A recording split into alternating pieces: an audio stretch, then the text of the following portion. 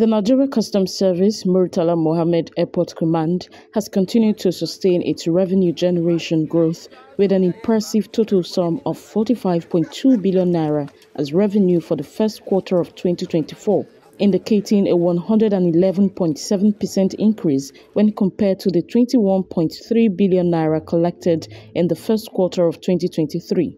The Customs Area Controller, Controller Mohammed Yusuf, said the command remains resolute in meeting its revenue targets despite daunting challenges.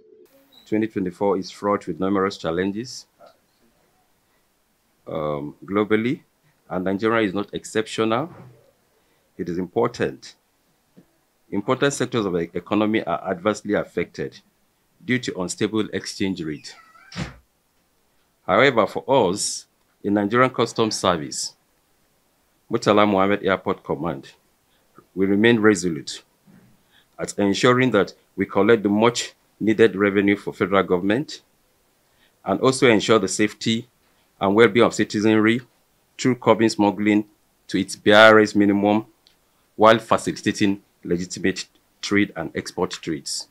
On anti-smuggling, the command recorded remarkable seizures which included the interception of 50 pieces of live ammunition discovered in a joint examination with the National Drug Law Enforcement Agency NDLEA.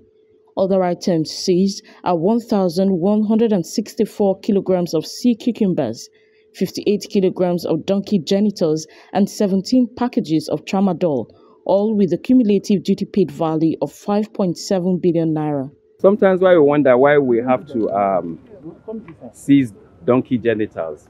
Donkeys are almost extinct.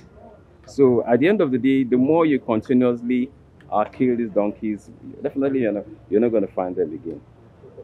Growing up, we know we have donkeys around us. But now, in fact, you can already read about donkeys for most of all that live in the cities.